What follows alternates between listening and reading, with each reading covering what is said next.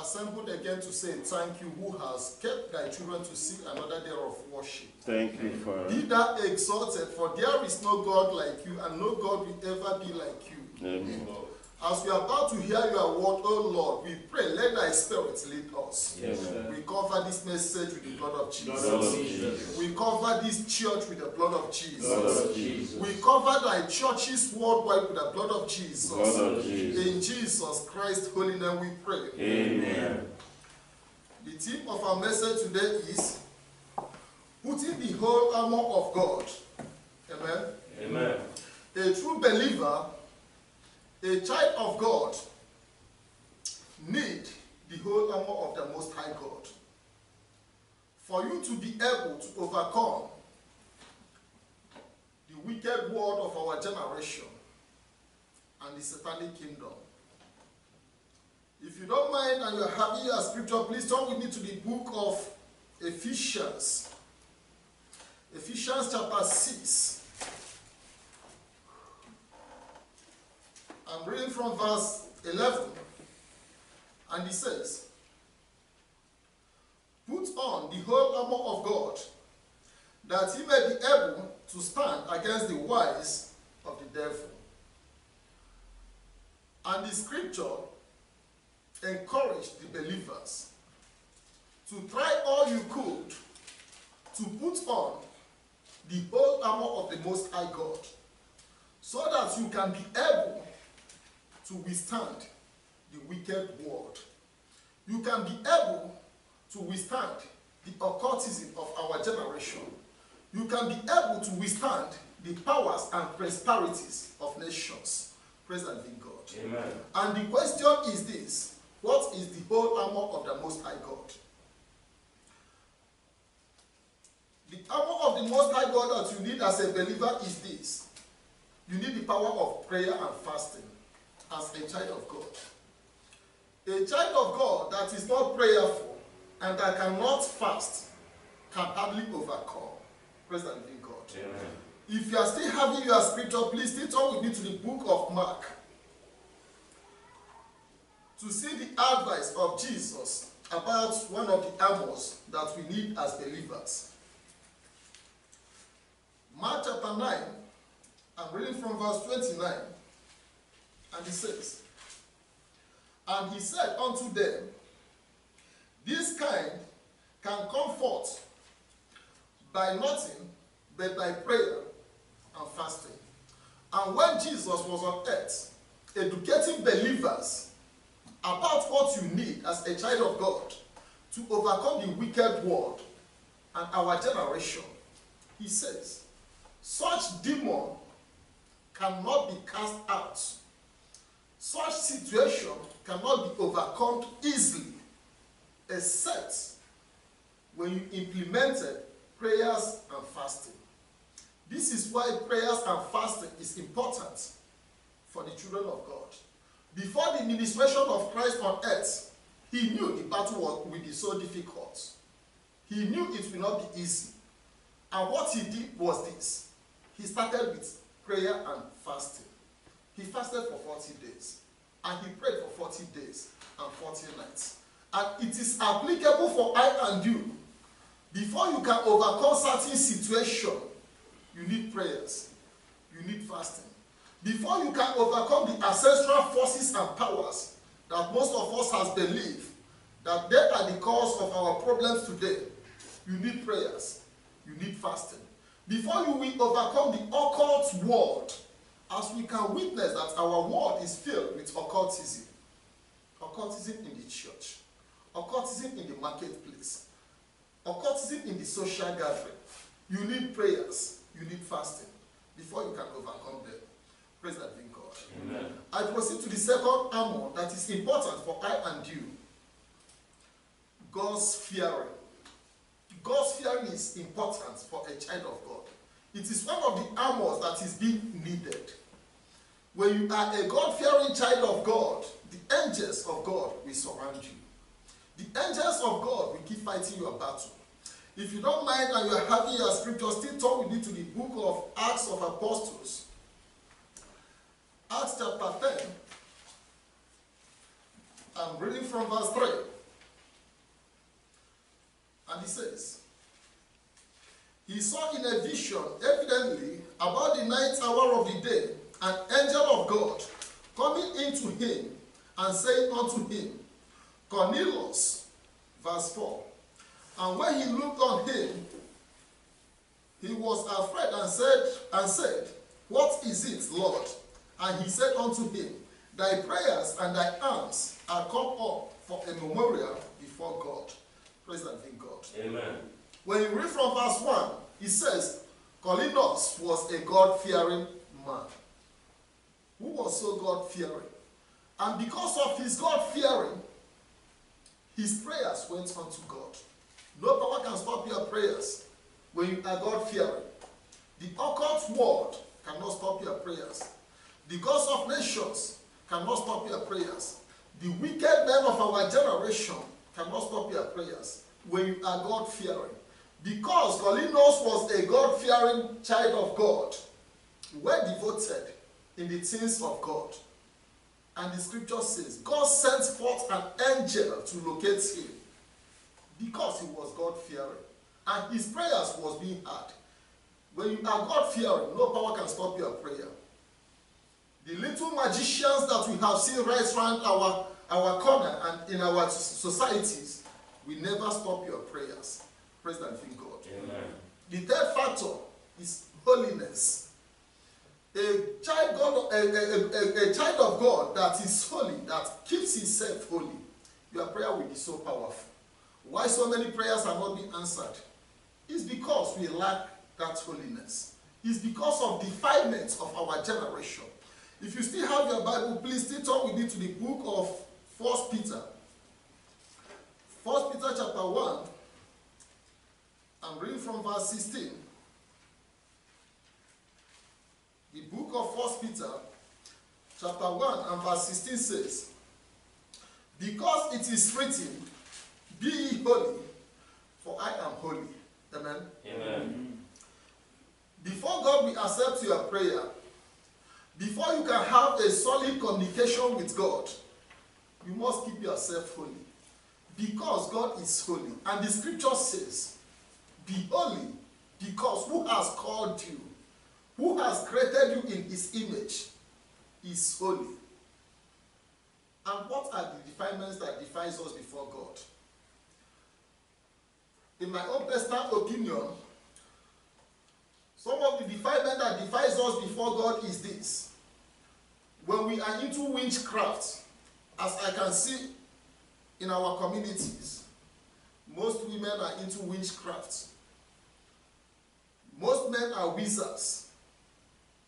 It defies our relationship with God. It destroys our holiness before our God. And our prayers will not be effective. The second point is idolatry. Idol worship. Magicians. Those that communicate with the spirits of the dead. Those that goes to the temples and shrine for rituals and sacrifice. Worshipping the powers of the water. Worshipping the powers of the graves. Automatically, you are defiled. You are not even qualified to come into the church of Christ. And that was why Christ will not take idol worshippers when he will be back again.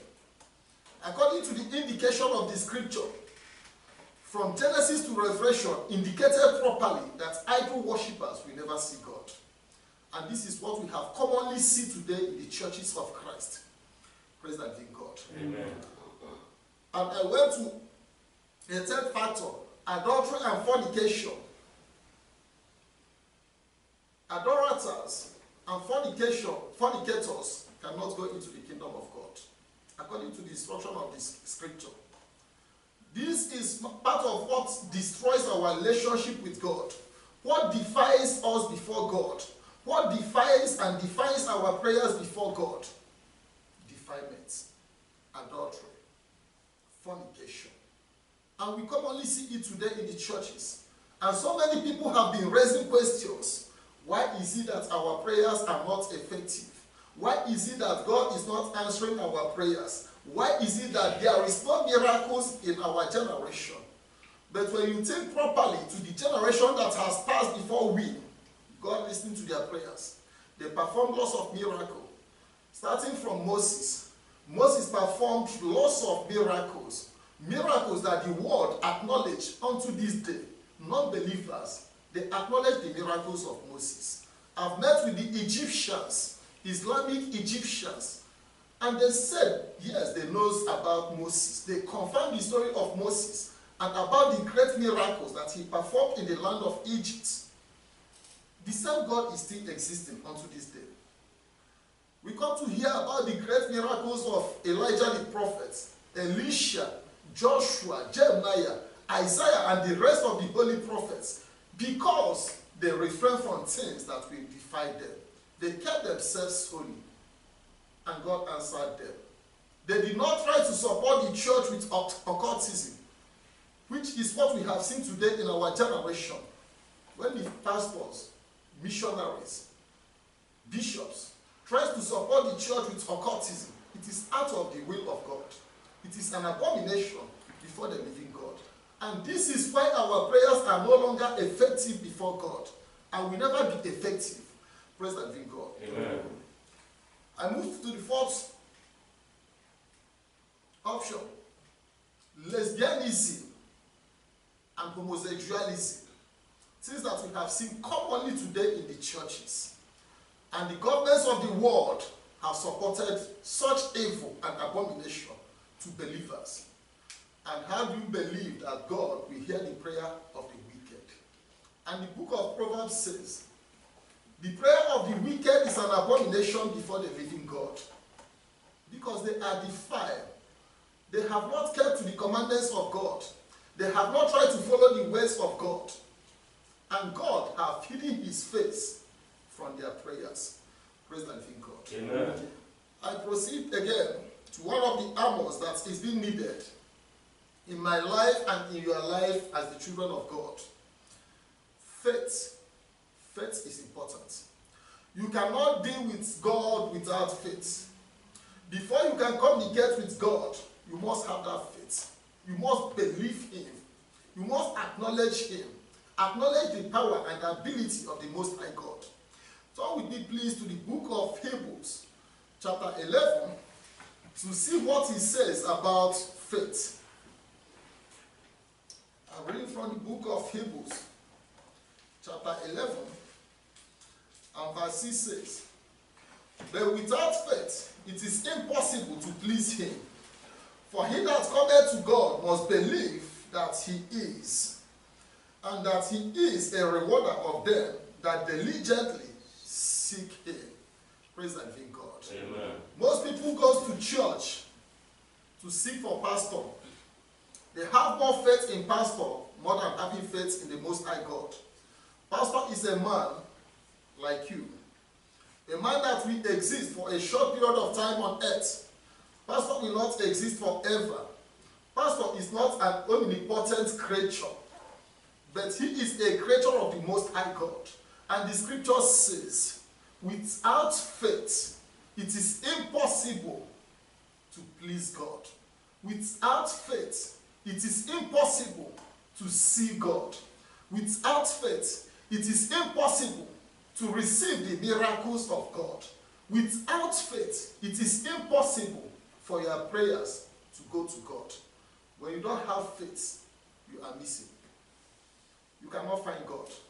Because most pastors doesn't have that faith. That was why they goes into demonic temples and shrines to support their administration. This is why they goes to the graves to support their administration because they don't have faith. They are confused of what they are doing. And the scripture says, you must believe the living God. Have faith in that God who has created all things. Why I believe the Most High God is because He is the omnipotent God. There is no God again that is the omnipotent, be it on earth, be it in the firmament, except the Most High God. And that was how I believed Him. And when I go to the accounts of the prophets that has followed God diligently in faith, they were undefeated. And that was why I believe I will be undefeated throughout my ministration. Praise the living God. Amen. And so far, in all the battle that I have encountered with different gods, with different pastors, I have defeated them clearly. Praise the living God. Amen. I'm encouraging you to have faith in God. Amen. Don't have faith in the creatures and forget the creator. Have faith in the creator who has created all things.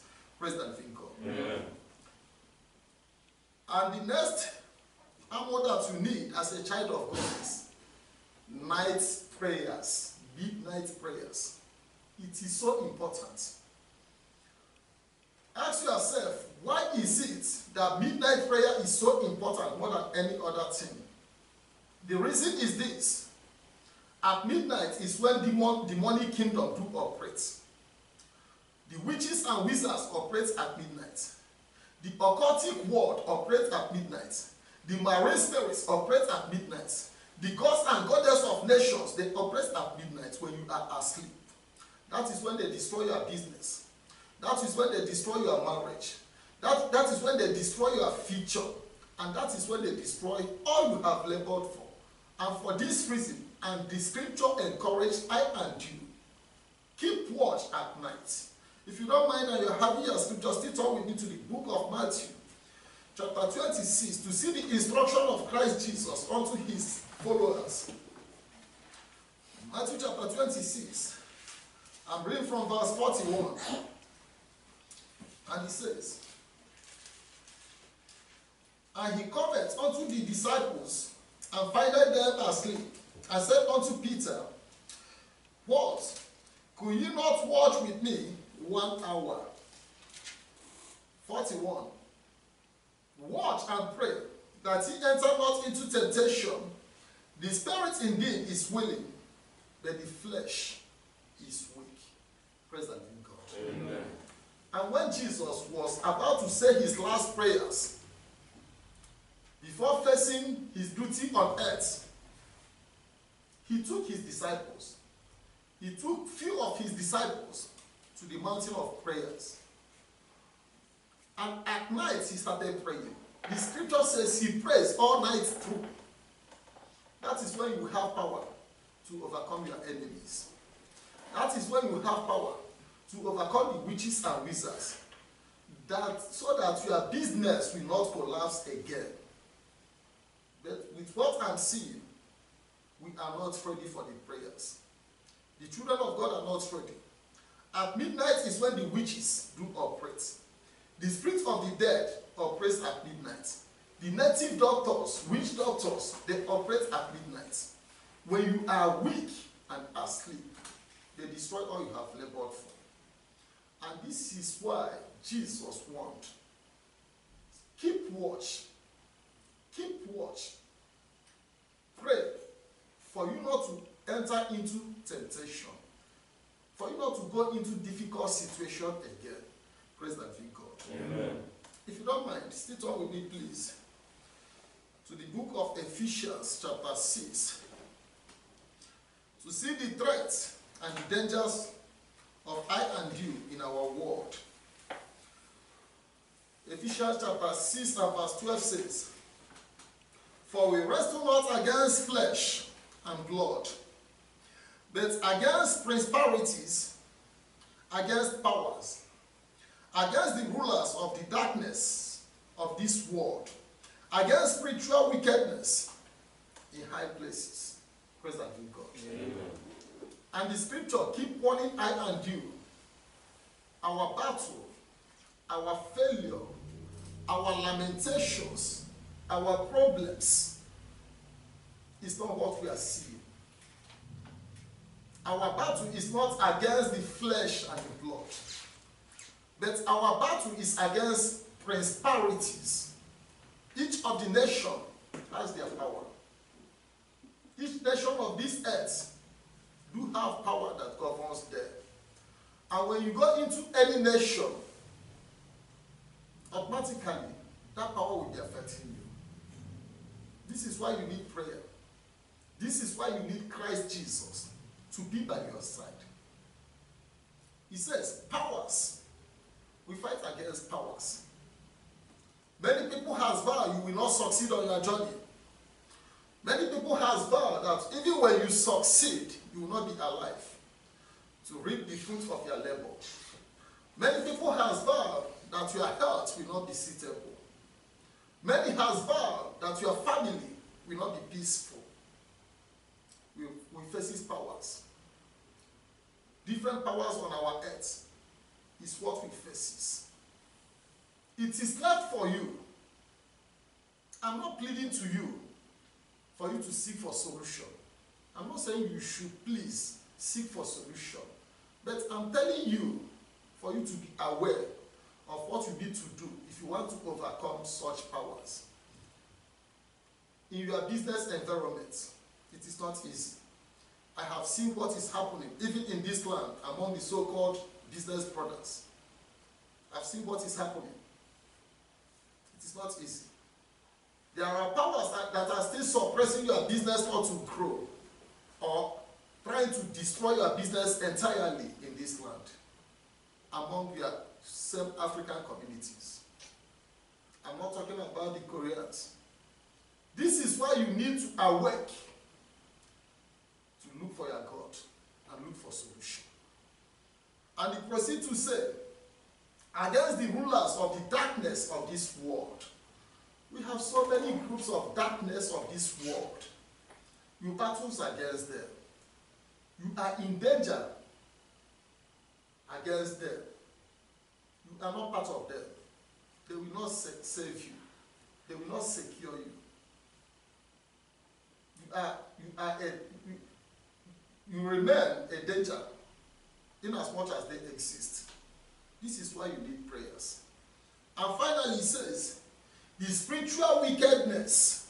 Some of the situations that you are passing through or that you are facing, it is not the will of God. Just be clear with that. It is not the will of God that we continue in that ugly situation. It is not the will of God.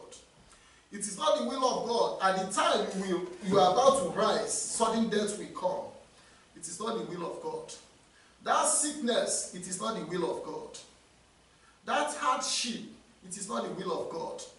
That disappointment in your marriage life, is not the will of God. Most evil that we faces today, possibly, it is not the will of God. And this is why each every one of us need to stand. I could remember a few years ago, I was so weak spiritually.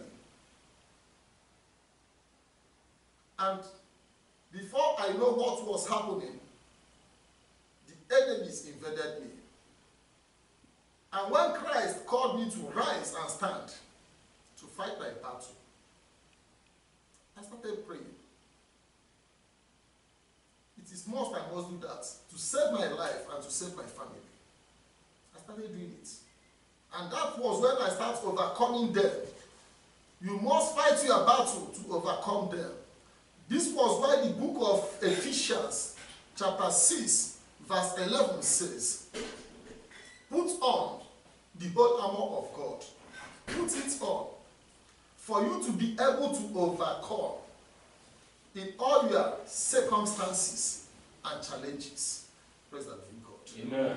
If you don't mind and you are still having your Bible, please turn with me to the book of Second Corinthians. Second Corinthians chapter 10. I'm reading from verse 4.